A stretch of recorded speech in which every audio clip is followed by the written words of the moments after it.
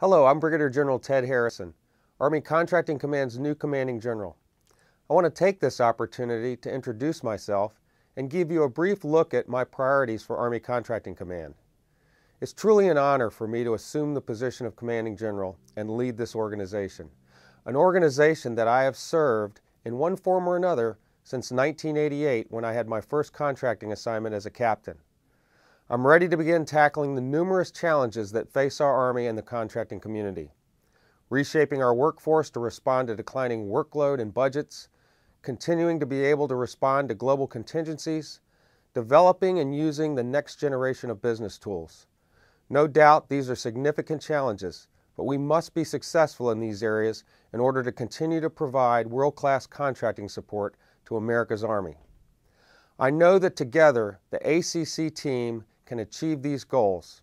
I have tremendous admiration for the breadth and scope of what you do to support the Army, from supporting complex research and development to conducting expeditionary operations from the jungles of South America to the mountains of Afghanistan. In fact, the thing I am looking forward to the most is working on a daily basis with the best soldiers and civilians in our Army. Each one of you makes contracting rewarding and makes me want to come to work every day. I'm proud to be your commanding general.